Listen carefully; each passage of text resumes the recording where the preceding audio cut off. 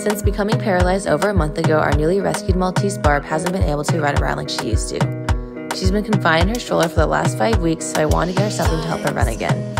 I found a set of wheels and I was so excited to build it for her. First, I had to adjust the height, and as you can see, Barb is super helpful. I checked to see if it would be a good height for her, then I got the collar and wrap around her. To be completely honest, I have no clue if I did this right, but it looks correct, so we're good to test it out. First, I tried to help her walk with it so she would understand that she could. I tried to get her to come towards me, but this is what happened instead. Let me know if you guys have any tips and tricks I can try.